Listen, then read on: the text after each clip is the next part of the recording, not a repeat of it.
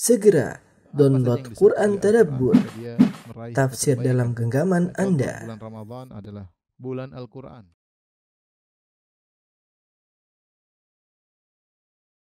Bismillahirrahmanirrahim.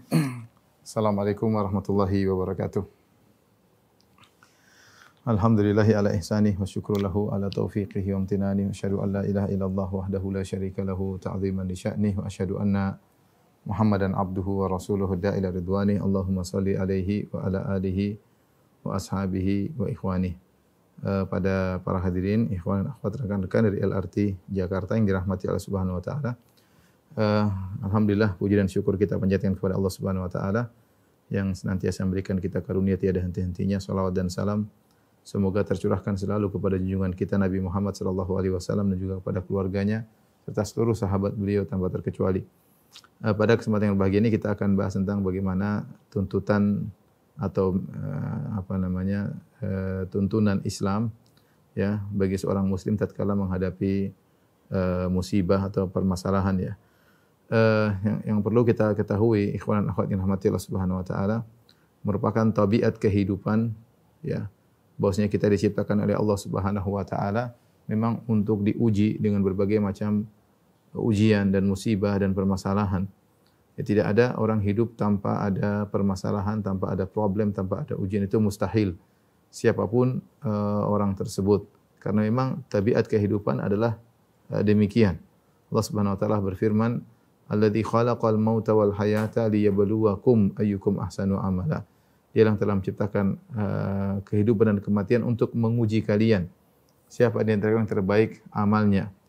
Demikian juga Allah Subhanahu wa taala mengatakan, "Huwallazi khalaqas samawati wal arda fi sittati ayyamin wa kana 'arsyuhu 'alal ma' liyabluwakum ayyukum ahsanu amala." Dan dialah Allah yang telah menciptakan uh, langit dan bumi ya. Jadi Allah menciptakan langit dan bumi buat apa? Liyabluwakum ayyukum ahsanu amala. Untuk menguji kalian mana di antara kalian yang uh, terbaik amalan. Jadi alam semesta Allah ciptakan sebagai sarana untuk menguji manusia ya. ya. Sengaja sarana untuk menguji manusia. Makanya uh, Allah mengatakan inna ja'alna ma 'alal ardi zinatan laha linabluwakum ayyukum ahsanu amala. Sehingga kami menjadikan perhiasan di atas muka bumi ini untuk menguji kalian mana di antara kalian amalan yang uh, yang terbaik. Allah juga berfirman kullu nafsin dha'iqatul maut wa nabluukum bisyarri wal khairi fitnah wa ilaina turja'un. Bahwasanya setiap yang bernyawa akan merasakan kematian. Wa nabluukum bisyarri wal khair. Kami akan menguji kalian dengan kesulitan, dengan kebaikan ya. ya. Wa ilaina turja'un sebagai fitnah dan kepada kamilah kalian akan di, dikembalikan. Tatkala seorang menyadari bahwasanya memang kehidupan ini pasti ada ujian. Tidak mungkin tidak, maka dia akan tahu inilah tabiat kehidupan. Siapa yang tidak ingin diuji maka maka tidak perlu hidup ya. Kalau dia masih mau hidup, uh, maka dia pasti akan diuji. Siapa pun orangnya, saya katakan tadi mau mau rakyat jelata, mau presiden, mau raja, mau panglima, semuanya diuji. Masing-masing punya ujian. Mau ustadz, mau audiens, semuanya di, diuji dan masing-masing punya ada takaran ujian yang Allah berikan kepada masing-masing orang tersebut. Kalau orang-orang kafir saja diuji, apalagi orang-orang beriman yang Allah sudah janji untuk menguji mereka. Kata Allah Subhanahu wa taala, "Am hasibatum an tadkhulul jannata wa lamma ya'tikum mathalul ladzina khalau min qablikum masathumul ba'sa'u wadh-dharra'u wa zulzilu hatta yaqula rasul wal ladzina amanu ma'ahu mata nasrullah." Apa kalian menyangka akan masuk surga sementara belum datang kepada kalian apa yang menimpa orang-orang sebelum kalian? Masathumul ba'sa, orang-orang dulu mereka ditimpa dengan penderitaan, dengan kesulitan, kesulitan harta, kesulitan penyakit dan macam-macam ya. Wa zulzilu dan mereka digoncang oleh Allah Subhanahu wa taala ya. Allah juga berfirman Alif Lam Mim ahasiban nasu ayyutraku ayyakulu amanna wa hum la yuftanun. Alif Lam Mim apakah orang-orang dibiarkan mengatakan kami telah beriman dan mereka tidak diuji walau qad fatana alladziina min qablihim sungguh kami telah menguji orang-orang sebelum sebelum mereka fala ya'lamanna Allahu alladziina sadaqu agar Allah mengetahui mana yang imannya benar wa ya'lamal kadzibin dan mana imannya enggak enggak benar. Allah mengatakan juga maka Allah liyadhar maka Allah liyadhar maka liyadhar Allah ala ma antum alaihi ya hatta yamizal khabitha min at-tayyib. Allah tidak akan biarkan uh, kalian ya, uh, seperti kondisi sekarang. Ya, Allah tidak akan biarkan begitu saja. Hatta yamizal khabitha min at-tayyib. Sampai Allah membedakan mana yang buruk dengan mana yang yang baik. Ya, Allah tidak akan biarkan kita begini saja. Pasti ada ujian yang bisa membedakan mana yang baik dan mana yang yang buruk. Karena itulah konsekuensi dari kehidupan. Makanya Allah Subhanahu wa taala Uh, membiarkan iblis turun ke atas muka bumi, ya. mentakdirkan Adam turun ke atas muka bumi, membiarkan iblis juga untuk apa? Untuk menguji. Dan ujian Allah Subhanahu wa taala berbagai macam ujian, ya. Di antara ujian syahwat, ujian fitnah, di antara ujian musibah, di antara ujian musibah. Dan demikianlah kehidupan manusia uh, diliputi dengan uh, ujian. Allah telah menciptakan surga, telah menciptakan neraka, tentu ada penghuninya masing-masing dan itu semua tidak bisa dibedakan kecuali dengan ujian. Ini poin uh, yang penting yang harus tertanam dalam diri kita bahwasanya kehidupan ini adalah adalah ujian. Apalagi Allah Subhanahu wa taala berfirman, "Laqad khalaqnal insana fi kabad." Sungguhnya kami telah menciptakan manusia fi kabad dalam kesusah payahan. Kami telah menciptakan manusia dalam kesusah payahan. Manusia uh, manusia sejak uh, apa namanya? Sejak dilahirkan sudah merasakan eh, namanya kesulitan sejak dia dalam perut ibunya sudah menyusahkan ibunya. Ya, kemudian ketika lahir juga dalam kesulitan menjalani kehidupan juga ada kesulitan-kesulitan dan demikianlah dia akan terus menghadapi ujian-ujian sampai di akhirat kelak ya. Ini semua saya ulang-ulang agar kita sadar inilah tabiat kehidupan ya. Jika Anda ingin hidup Anda harus diuji ya sebagaimana ada diuji yang lain juga di uh, diuji. Nah, yang perlu kita uh, renungkan apa yang harus kita lakukan ketika seorang mendapatkan uh, musibah ya atau hal yang tidak dia sukai atau problem yang berat yang mungkin dia tidak uh, ingin dikasih ujian tersebut tapi ujian itu datang di luar uh, kehendak kita. Semua yang mengatur adalah Allah Subhanahu uh, wa taala. Tapi di sana ada beberapa hal yang mungkin membantu kita untuk bisa uh, bertahan ketika diuji. Ya. Sikap-sikap yang dianjurkan ya. ketika menghadapi ujian.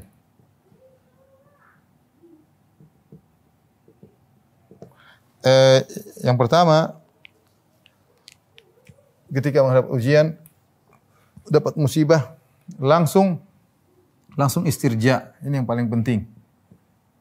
Eh, mengucapkan istirja. Al istirja. Istirja itu artinya mengembalikan semuanya kepada Allah Subhanahu wa taala. Yaitu inna lillahi wa inna ilaihi raji'un.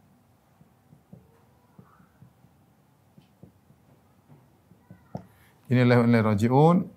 Eh, kami ini milik Allah dan hanya kepada kamilah kepada Allah kami akan dikembalikan. Ini punya pengaruh kuat bagi seorang ketika dapat ujian, dia akan tegar. Karena begitu terkena ujian, langsung mengatakan inna lillahi wa inna ilaihi raji'un. Kami hanyalah milik Allah dan kepada Allah kami akan dikembalikan. Kami milik Allah, keluarga kami milik Allah, harta kami milik Allah, bumi ini milik Allah, semua makhluk milik Allah. Kapan Allah mau mengambil untuk dikembalikan kepada Allah, terserah Allah Subhanahu wa taala. Ya, eh, kita tidak punya kemampuan untuk mengatur itu semua. Kita ini hanyalah uh, milik Allah dan Allah mengambil terserah kapan yang Allah kehendaki. Harta kita yang kita miliki ternyata ludes misalnya, ternyata kita salah dalam berdagang misalnya, rugi. Jangan Jangankan harta kita ini milik Allah, apalagi cuma harta harta kita. Kemudian bisa kita tambah dengan uh, innalillahi rajiun. Kita bisa mengatakan juga misalnya alhamdulillah la kulli hal. Alhamdulillah ala kulli hal. Ini dua yang penting Sebagaimana datang dalam hadis tentang ketika Allah mencabut nyawa seorang anak seseorang hamba Allah, maka Allah bertanya kepada malaikat, "Hal qabbattum samarata fuadihi?" Fuadihi ya. Apakah kalian telah uh, mencabut nyawa buah hati hambaku? Kata para malaikat, "Na'am ya Allah." Mada qala abdi? Allah bertanya lagi, apa yang dikatakan hambaku ketika anaknya dicabut nyawanya?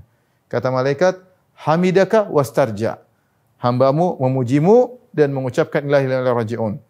Kata Allah Subhanahu wa taala, "Ubnu lahu baitan fil jannah wa sammuhu bi baitil hamdi." bangunkan bagi hambaku tersebut istana di surga dan namakan istana tersebut dengan istana pujian.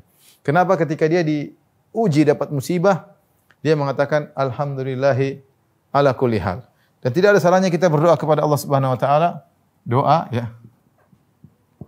Allahumma Allahumma jurni fi musibati wa akhlif li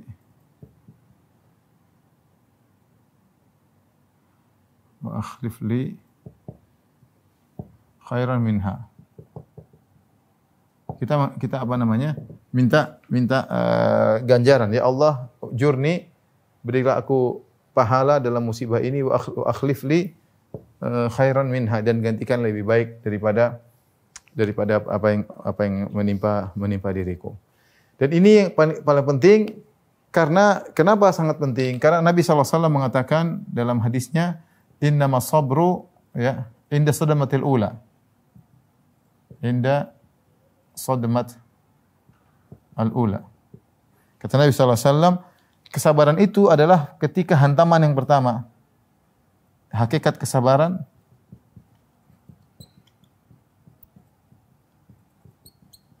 ketika di, pada hantaman pertama. Kapan Nabi mengucapkan ini? Ketika ada seorang ibu, seorang ibu, uh, anaknya meninggal. Anaknya meninggal, kemudian dia pergi ke kuburan, dia menangis. Dia menangis. Uh, kemudian merintih di situ. Datanglah Nabi SAW menasihati. Nabi SAW mengatakan, Ya hadha ittaqillaha wasbiri. Wahai fulanah, kata Nabi, bersabarlah dan bertakwalah. Bertakwalah dan bersabarlah.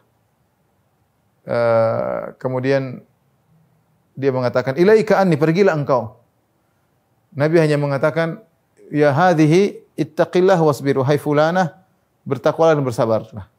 Maka wanita ini berkata, dia sedih anaknya meninggal. Dia mengatakan, ilaika anni innaka lam tusab bi musibati.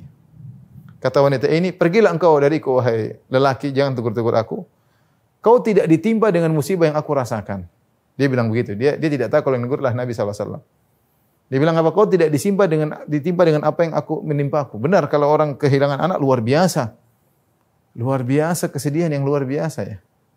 Ada ada ada seorang kawan ya, punya anak laki-laki tiga atau empat. Terus dia punya anak perempuan. Dia sangat sayang anak perempuan itu meninggal. Salah satunya perempuan meninggal ujian berat ya. Ujian berat bagi dia, bagi istrinya berat. Ya, apalagi anak tersebut sudah mulai besar, mulai manja-manjanya, mulai terus lucu-lucunya mulai meninggal dunia. Intinya dia bilang kau enak aja ngomong bilang sabar-sabar, kau tidak tahu kalau kita rasain. Dan benar ujian itu berat ya. Kita kadang kita kasih nasihat harus sabar-sabar ini ujian kehidupan. Ketika apa itu menimpa kita belum tentu kita bisa menjalaninya. Makanya kita ketika sekarang bicara tentang teori. Tapi kita harus paham teori tersebut untuk kita belajar mempraktekannya. Orang yang sudah paham teori saja belum tentu bisa mempraktekannya. Apalagi yang teori tidak paham.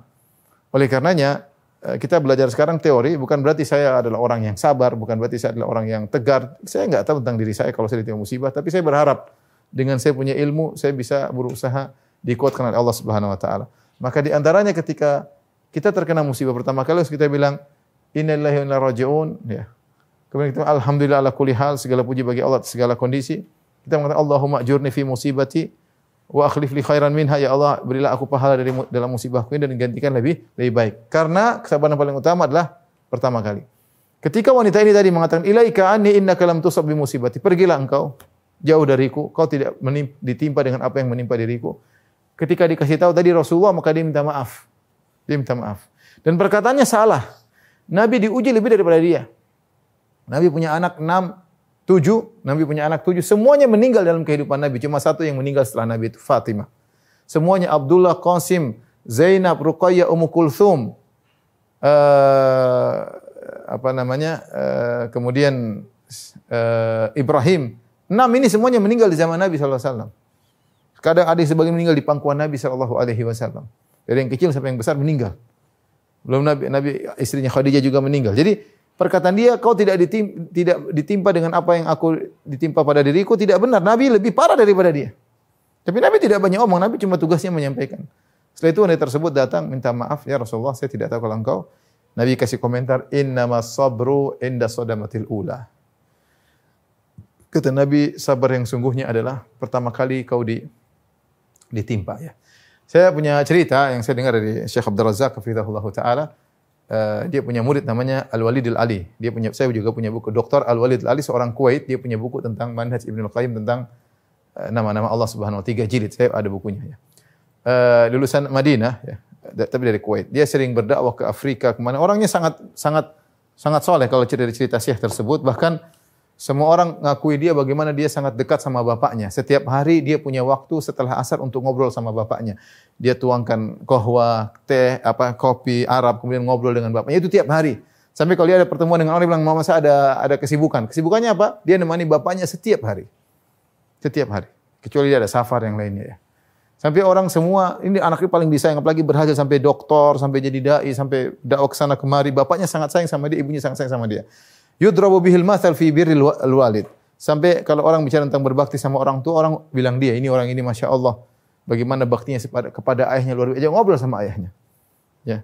Dan jarang kita ada seperti itu apa dekat sama jadi bapak jadi teman ngobrol jarang ya kita bicara. Tapi dia seperti itu. Intinya dia ditembak waktu itu. Dia di ke Afrika. Kejadian rame waktu itu. Dia ditembak meninggal dunia. Entah ada perampokan, entah ada Khawarij intinya dia lagi di suatu tempat ditembak dan dia termasuk yang meninggal dunia. Kemudian jasadnya dibawa ke Kuwait. Uh, Syekh Abdul Razak termasuk yang berangkat ke sana kemudian sholatkan mayatnya. Jadi jadi imam untuk sholat jenazah. Uh, yang, yang menakjubkan Syekh cerita. Saya kalau nggak salah yang termasuk yang nurunkan mayatnya. Saya agak lupa tapi Syekh cerita kepada saya. Intinya yang menakjubkan ketika di, dikuburkan bapaknya itu tenang. Bapaknya tenang, padahal ini anak yang paling dia cintai. Kemudian dikuburkan, kemudian bapaknya uh, apa namanya? Uh, mengatakan, "Ya Allah, saksikanlah bahwasanya aku dan istriku ridho dengan kematiannya." Dia ngomong di kuburan dan dia tegar. Padahal mereka baru saja kalau nggak salah habis umrah. Pokoknya banyak cerita tentang keindahan antara sang ayah dengan sang anak. Kata Syekh Abdul Razak, seingat saya, setelah beberapa lama, entah berapa Ya tentu kondisi berubah dulu kalau dia safar ditemani anaknya, anaknya yang melayaninya sekarang harus safar sendiri, umroh sendiri ya. Intinya satu saat Syekh bertemu dengan bapaknya setelah waktu yang lama. Ya. Kemudian dia ngobrol, dia bilang, Ami, Om, uh, saya cuma ingin tahu, kok bisa ketika Al-Walid Al-Ali, Dokter Walid Al-Ali, anakmu meninggal, kok Om bisa tegar waktu itu di kuburan, tidak menangis, tidak apa-apa, bisa tegar. Maka akhirnya dia cerita, dia bilang ini ini adalah anak yang paling saya cintai. Ini adalah anak yang paling saya cintai. Ketika saya dapat kabar di telepon bahwasanya anak saya ditembak, saya bilang pastikan dulu kondisinya. Pastikan kondisinya. Setelah berapa lama pun datang lagi telepon, saya angkat telepon, katanya anakmu meninggal. Apa yang pertama saya ucapkan? Saya bilang, Ya Allah, engkau tahu ini adalah samaratu fuadi. Ini adalah buah hatiku yang paling aku sayang. Ini anak yang paling aku sayang dan kau telah mengambilnya ya Allah. Urbut ala qalbi, ya Allah tegarkanlah hatiku dan tegarkanlah hati istriku. Itu yang saya ucapkan kepada Allah. Saya minta ya agar Allah menguatkan hati saya. Saya kembalikan inna lillahi wa inna ilaihi raji'un. Semua milik Allah, engkau telah mengambilnya, ini milikmu. Ini anak yang paling aku cintai dan kau ambil ya Allah. Maka tegarkanlah hatiku. Subhanallah setelah itu Allah berikan saya kekuatan. Setelah berikan saya kekuatan sehingga uh, saya bisa tegar ya. Ini makanya saya bilang ini penting. Kapan kita terkena musibah? Sebelum kita apa-apa, pertama kita bilangin dulu. In, sambil kita renungkan, bukan hanya sekedar kita asal ngomong, kita renungkan. Inna lillahi wa inna ilaihi raji'un. Kita ini milik Allah. Jangankan harta kita, jangankan diri kita ini milik Allah. Wa inna ilaihi raji'un. Apakah ibu kita, anak kita, kakak kita, bapak kita, harta kita semuanya milik Allah. Wa inna ilaihi raji'un dan kita akan kembali kepada Allah. Kita bilang alhamdulillah ala kulli hal. Ngomong. Allah ma'jurni fi musibati hadha. Wa akhlif li khairan minha. Ya Allah berikanlah aku ganjaran dalam musibah ini. Ya, dan digantikan lebih lebih baik. Maka Allah akan berikan kita kekuatan untuk bisa menghadapi musibah meskipun musibah terburuk. Ya, nangis biasa, kita nangis biasa. Tapi kita jadi tegar, kita jadi kokoh. Ya, maka ini yang paling penting ketika kita terkena musibah, jangan lupa langsung mengingatkan diri kita bahwasanya kita semua adalah milik Allah Subhanahu uh, wa taala.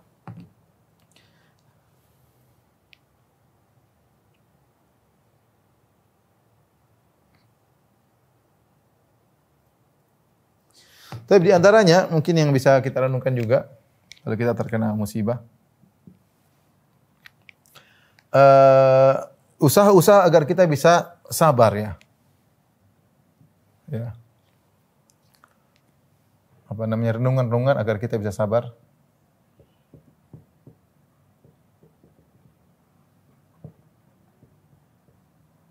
Ada beberapa renungan yang, yang mungkin buat membantu kita sabar. Pertama kita ingat bahwasanya tadi sudah saya sampaikan di awal pengajian, musibah, ujian, musibah atau ujian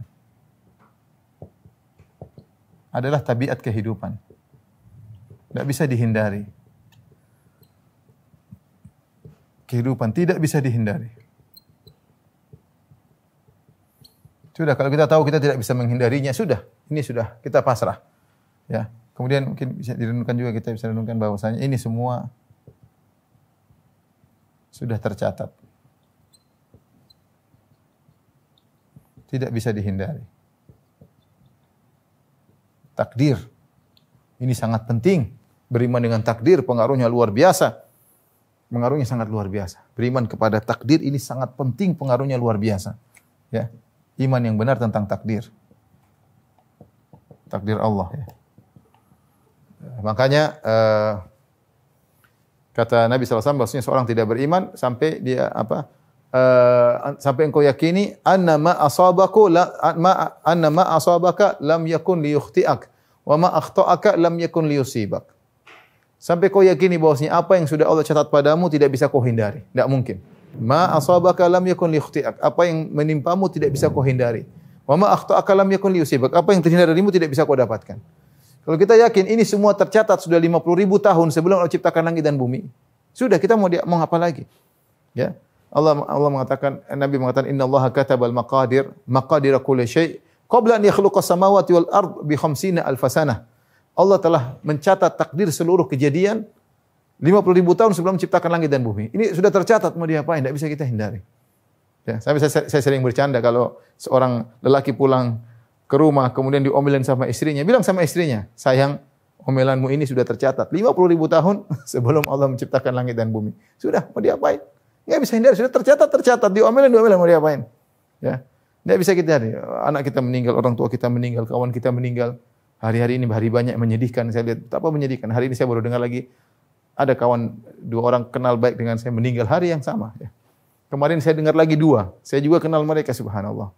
Ya. Eh, mau diapain? Kita tahu kesedihan ya kita bisa kira-kira lah kesedihan seperti apa. Kita juga merasakan. Tapi kita tahu bahwasanya ma asabaka lam yakun liikhti'ak. Apa yang menimpamu tidak akan bisa kau menghindarinya. Meskipun satu dunia bersatu padu untuk membantumu, kau tidak akan bisa menghindar darinya kalau sudah ditetapkan oleh Allah Subhanahu wa taala. Kul ya, kan Nabi berkata kepada Ibnu Abbas, "Law ijtama'a wa law ijtama'u ala yanfa'uka bi syai'in lan yanfa'uka bi syai'in illa ma qad katabahu lak." Kalau mereka berkumpul semuanya ingin beri manfaat kepadamu tidak akan mampu kecuali yang sudah Allah tetapkan. Ya, sebaliknya kalau mereka ingin memberi mudarat kepadamu tidak akan mampu satu dunia manusia dan jin berkumpul beri mudarat kepadamu tidak akan mungkin kecuali kalau yang sudah Allah tetapkan menimpamu. Ini uh, ketika kita meyakini semua sudah tercatat maka uh, ini akan meringankan uh, beban uh, beban kita ya. Kemudian di antara yang bisa uh, apa namanya kita pikirkan juga uh, firman Allah Subhanahu wa taala bisa jadi musibah lebih baik bagi kita. Ini berat tapi harus kita paksakan. Ya. Kata Allah Subhanahu wa taala wa asa an takrahu syai'an an takrahu syai'an wa huwa khairul lakum. Wa huwa khairul lakum. Wa asa an tuhibbu syai'an wa syarrul lakum. Bisa jadi kau benci sesuatu namun lebih baik bagimu.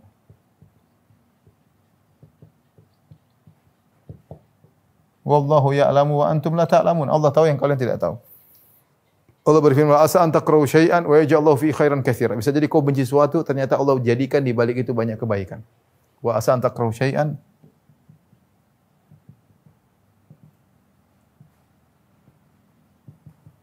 wa yaj'allahu fihi khairan katsira. Bisa jadi kau benci sesuatu, ternyata Allah jadikan di balik itu banyak kebaikan. Ini poin kelihatannya sederhana, tapi ini perlu renungan. Saya bilang bukan sekedar teori, tapi kita yakini akan hal hal tersebut. Ya. Dan banyak contohnya. Ya. Banyak contohnya.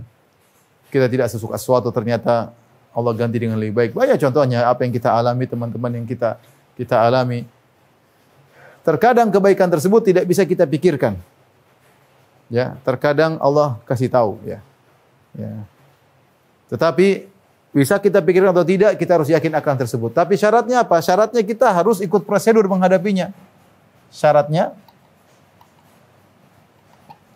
harus ikut prosedur. Dalam menghadapi musibah.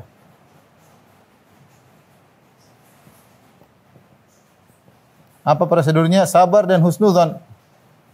Sabar, berbaik sangka. Karena ada istilah perkataan orang, pilihan Allah yang terbaik. Al khair khiratullah. Ada perkataan para ulama disebut gini, al khair khiratullah. Yang terbaik adalah pilihan Allah. Adalah pilihan Allah. Saya bilang ini tidak secara mutlak, ya.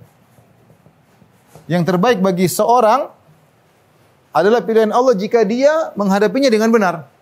Betapa banyak pilihan Allah bagi dia buruk ya, kasih musibah, kemudian meninggal dalam kondisi maksiat, uh, suul khatimah, ya, murtad banyak-banyak ya banyak. Jadi benar al khair khiratullah yang terbaik adalah pilihan Allah bagi siapa? Bagi orang yang menjalani musibah dengan prosedur. Bersabar, berbaik sangka kepada Allah. Baru dikatakan dia pilihan itu yang terbaik. Baru dikatakan pilihannya yang uh, yang terbaik. Jika tidak, tidak bisa jadi hukuman dari Allah Subhanahu wa taala. Maka ini perlu kita renungkan ya. Banyak musibah. Contoh saya kasih sederhana, misalnya kata Ibnu Qayyim kalau kau tidak bisa berpikir tentang apa manfaat yang kau dapatkan dari musibah ini, renungkanlah tentang kisah gampangannya adalah kisah Khadir dengan anak kecil yang dia bunuh. Yang Allah sebutkan wan talaqa hatta idza laqiya gulaman faqatala. Qala qatalta nafsan zakiyatan bighairi nafsin laqad ji'ta syai'an nukra. Ketika Khadir dengan Nabi Musa berjalan, tahu ada anak Nabi Nabi Khadir bunuh anak tersebut atas perintah Allah tentunya. Allah perintahkan Nabi Khadir bunuh anak itu. Nabi Musa heran. Qala qatalta nafsan zakiyatan bighairi nafsin laqad ji'ta syai'an nukra. Bagaimana kau bunuh anak tersebut yang suci, dia tidak bunuh orang, kau bunuh dia. Sungguh kau telah datang melakukan kau telah melakukan kemungkaran. Maka Nabi Khadir bercerita setelah itu, amal fa amal wa amal gulamu fa kana abawahu mu'minaini fa khashina ayyurkahuma yurhiqahuma tughyanan wa kufra fa aradna ayyubdilahuma rabbuhuma khairan min zakata wa aqrab rahma. Adapun anak yang saya bunuh itu perintah Allah Subhanahu wa taala. Dia punya dua orang tua yang beriman. Ya. Anak ini nakal, bisa menjerumuskan kedua orang tuanya di kemudian hari dalam kemaksiatan, dalam kekufuran. Maka Allah ingin mengganti anak ini dengan anak yang lain. Ganti anak ini dengan anak yang yang lain yang bisa lebih takwa, lebih sayang kepada kedua orang tuanya. Ini contoh. Lihat anak kecil mati kita nggak tahu ke depannya ternyata bisa jadi gini bisa begini. Karena Allah tahu apa yang terjadi di masa depan. Ini contoh sederhana ya. Kita punya anak meninggal misalnya, kita sedih. Kita sedih. Tapi kita bayangkan belum tentu kalau dia besar kita bisa mendidiknya dengan baik. Apalagi zaman sekarang, zaman medsos, zaman orang berpura, zaman K-pop, zaman drama Korea, zaman internet, zaman macam-macam. Semua orang bisa diakses. Kita nggak tahu anak bisa kita didik atau tidak. Kita nggak tahu anak ini mendatangkan kita tawa dan canda tiap hari ataukah mendatangkan tangisan. Betapa banyak orang, betapa banyak orang berdoa ingin punya anak, Allah tidak kasih anak. Sebagian orang datang mengeluh tentang anaknya. Ya akhi saya pernah datang, ada orang ibu datang kepada saya ke rumah. Bawa anaknya mungkin masih SMP. Dia bilang, ya Ustadz ini anak pukul saya Ustadz. Anak saya, anak ini mukul saya Ustadz. Sampai dia nangis. Saya bilang, Masya Allah. Masya Allah, ujian berat sekali. Ujian berat. Saya juga dapati teman saya ada datang kemudian bawa dua anaknya autis semuanya. Ujian berat. Belum tentu kalau saya dikasih saya bisa menghadapi ujian tersebut. Tapi teman saya sabar luar biasa. Cuma maksud saya, kita nggak tahu kalau kita kasih musibah bisa jadi kalau tidak dikasih lebih parah. Kita tidak mampu menghadapinya. Di antara kita mungkin ada orang tuanya meninggal. Dia bilang ya sudah. Kita berharap apa yang Allah berikan lebih baik. Mungkin orang tua ini kalau kita bersama dia terus, belum tentu kita bisa berbakti terus sama dia. Mungkin kita nanti sulit, kesulitan, belum tentu ada ekonomi yang baik bisa berbakti sama dia. Memang dia bisa berbakti, Alhamdulillah. Kemudian mungkin kalau dia meninggal lebih baik dia mungkin sering sakit-sakitan, Allah ingin pindahkan dia kepada tempat yang lebih baik di alam barzah dengan nikmat. Bisa jadi. Kita husnudzon aja, husnudzon. Sedih ya sedih. Tapi kita berpikir yang baik buat dia, baik buat anak-anak yang ditinggalkan. Kita berdoa kepada Allah Subhanahu wa taala. Kesannya iya pintu pintu surga sudah selesai. Iya, memang ada kesedihan. Tapi kita berpikiran positif. Ya. Jadi mau saya wa asa anta syai'an bisa jadi kau benci sesuatu wa Allah fi khairan katsir. Ternyata Allah berikan banyak kebaikan di, di situ. Banyak. Kita bicara tentang pengalaman kita, pengalaman kawan-kawan banyak. Banyak ya, kawan. Ya. Oleh karenanya kita punya kaidah al khair khiratullah. Yang terbaik adalah pilihan Allah Subhanahu wa taala. Tapi bagi siapa? Bagi orang yang menghadapinya dengan dengan baik. Ini antara renungan-renungan yang bantu kita untuk apa? Untuk uh, untuk bersabar. Makanya di antara apa namanya? Uh, definisi zuhud ya.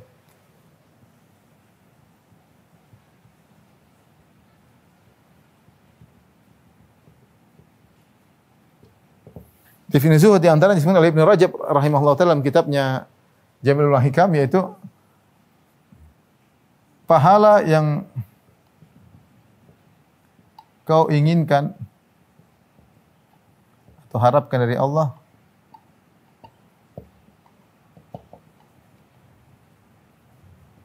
ketika kehilangan maksudnya musibah lebih besar lebih besar harapanmu dari jika tidak kehilangan.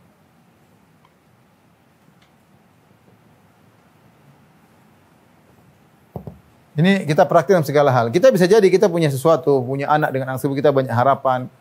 Kita punya mobil dengan mobil tersebut kita ingin banyak beramal soleh. Tetapi ketika mobil kita dicuri misalnya, anak kita meninggal dunia misalnya. Ini berat, tapi kita berharap pahala yang Allah berikan lebih besar daripada kalau kita ngerawat anak ini. Pahala yang Allah berikan kepada kita kalau kita lebih besar daripada kalau kita miliki mobil ini. Itu maksudnya makna zuhud. Karena kita yakin bahwasanya apa yang Allah tetapkan itu yang terbaik. Sehingga kita senantiasa husnudzon kepada Allah dan kita berharap bahwasanya apa yang Allah uh, berikan kepada kita uh, lebih baik ya. Kemudian di antara yang buat kita bisa bersabar bahwasanya adalah e, musibah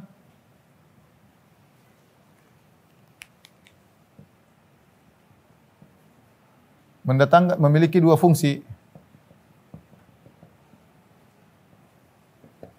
Mengangkat derajat Kemudian yang kedua adalah e, menghilangkan dosa-dosa.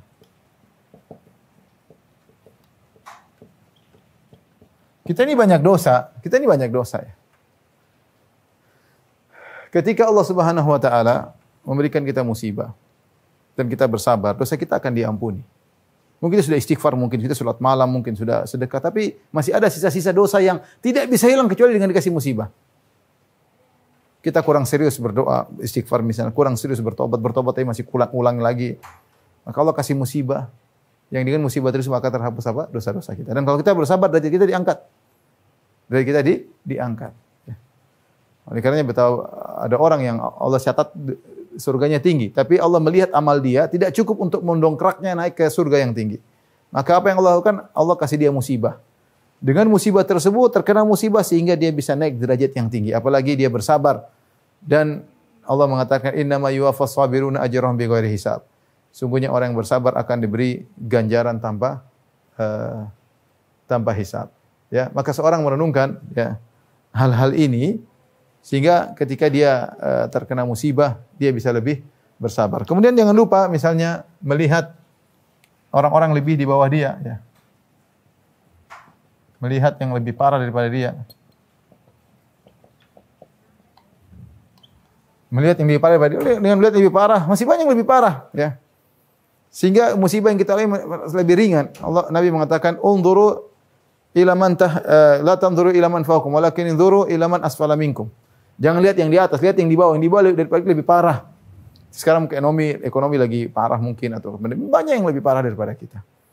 Banyak lebih parah daripada kita. Yang kita kehilangan ibu, kehilangan bapak, ada yang lebih kehilangan bapak, kehilangan ibu, kehilangan anak, lebih parah.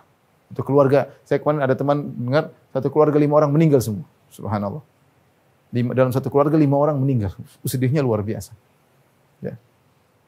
Dan itu terjadi. Oleh karenanya uh, renungan-renungan ini ya, mudah-mudahan uh, bisa membantu kita untuk tegar dalam menghadapi musibah. Kemudian berikutnya uh, yang perlu kita lakukan nomor tiga, jangan pernah keluhkan kepada manusia. Ya. Pernah mengeluh kepada manusia.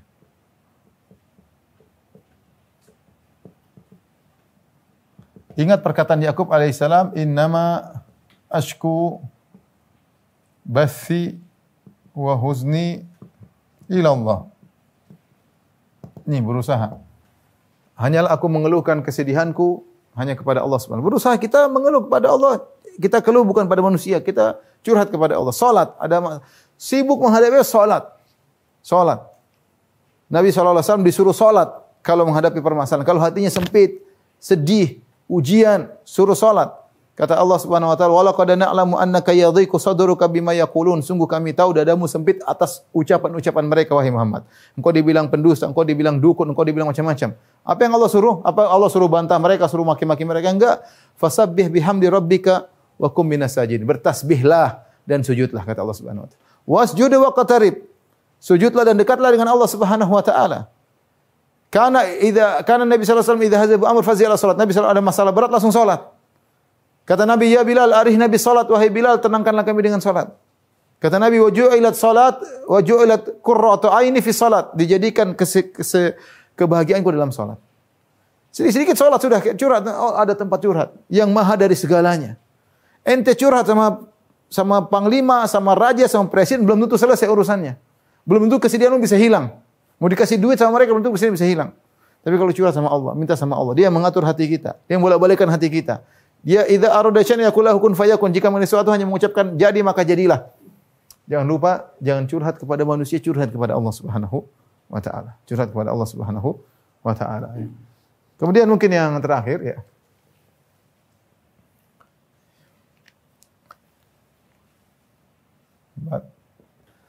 Berusaha cari solusi. Berusaha cari solusi yang lebih baik. Solusi. Musibah ada, tapi kita jangan kemudian terjebak dengan kesedihan. Sakit ada, kita berusaha berobat ya. Makanya Allah mengatakan fasbir kama sabar ulul azmi rusul. Fasbir kama sabar ulul azmi minar rusul. Kata Allah Subhanahu wa taala, "Wahai Muhammad, bersabarlah sebagaimana sabarnya ulul azmi." Ulul azmi. Ulul azmi minar rusul ini adalah uh, nabi-nabi ter rasul tertentu Azm, azm itu apa? Tekad. Secara bahasa azm itu artinya tekad. Mereka menggabungkan antara dua eh, dua sifat, tekad dan sabar. Fasbir kama sabar ulul azmi rusul. Bersabarlah sebagaimana sabarnya para rasul yang punya tekad. Menunjukkan bahwasanya para rasul meskipun mereka meskipun mereka dihina, di uh, maki-maki oleh kaumnya, mereka tetap azam, tetap berdakwah. Nabi SAW tidak pernah putus asa dakwah dimusuhi 10 tahun, 13 tahun di Mekah. Nabi lanjut terus sampai 13 tahun sampai mereka membunuh Nabi baru mereka Nabi pergi. Saya itu Nabi tetap tidak putus asa, terus berdakwah, terus berdakwah. Jadi maksud saya ketika kita terkena musibah bukan berarti kita kemudian pasrah, ya sudah mau diapain. Enggak. Kita musibah kita solusi. Solusi. Misalnya seorang wanita sekarang banyak wanita misalnya. Mohon maaf. Saya ditelepon berapa orang kasihan, suaminya meninggal, masih muda kadang di antara mereka. Eh, kemudian eh, nangis berlebih-lebihan, sedih. Saya bilang, enggak, masa idah empat bulan sepuluh hari. Setelah itu pikirkan mana yang terbaik ke depan. Mau kerja kek, mau nikah lagi kek, mau apa kek. Tapi jangan terjebak dengan kesedihan. Karena tidak tidak tidak tidak ada solusi enggak. Harus ada azam. Pikirkan anak-anak, kehidupan, pikirkan agama. Ya, kehidupan kita bukan bisa jadi Allah kasih kehidupan yang lain, bisa Allah kasih kebahagiaan yang lain, kita nggak tahu. Sebagai wanita ketika dicerai sudah seakan-akan musibah hancur kehidupannya. Dia tidak mau ini lagi, tidak mau enggak, kita bilang Tenang, ini kehidupan seperti itu. Ada yang mencerai, ada yang dicerai, ada yang suaminya meninggal. Dan macam-macam kehidupan. Ada yang punya perusahaan bangkrut. Jalani, jalani, cari solusi. Kembalikan kepada Allah. Tidak ada yang bisa kasih solusi kecuali Allah Subhanahu wa taala. Wa may yattaqillaha ja'alahu makhraja. Yang bertakwa Allah kasih jalan keluar. Bukan berarti orang terkena musibah kemudian nongkrong di rumah. Tidak, kita memang ridha kepada Allah. Ridha dengan keputusan tersebut. Tapi kita juga cari eh, cari solusi untuk menghadapi eh, permasalahan problem-problem yang kita eh, hadapi. Ini eh, sedikit yang saya sampaikan kepada kawan-kawan di LRT yang dirahmati Allah Subhanahu wa taala. Wallahu taala alam eh, bisawab. Semoga kita dijadikan oleh Allah sebagai hamba-hambanya ketika diberi musibah kita eh, bersabar ya. Eh, dan kita ridha dengan keputusan Allah Subhanahu wa taala. Di antara doa Nabi sallallahu alaihi wasallam, "Nas'aluka ridha ba'dal qada." Ya Allah, aku mohon kepada Engkau keridhaan setelah keputusanmu. Karena tidak semua orang ridha dengan keputusan yang Allah berikan. Banyak, banyak kita menghadapi problem orang-orang enggak ridha. Kenapa begini? Kenapa begini? Sama Allah Subhanahu wa taala kita bilang nas wa nas'aluka ridha ba'dal qada. Di antara doa Nabi sallallahu alaihi wasallam, kami mohon kepada Engkau ya Allah keridhaan setelah keputusanmu. Jadi kita ridha dengan keputusan Allah. Allah alam bisawab demikian saja rekan-rekan di LRT kajian yang bisa saya sampaikan. Insyaallah kita bertemu di kesempatan yang lain. Kurang bisa mohon maaf. Wabillahi taufiq. Assalamualaikum warahmatullahi wabarakatuh.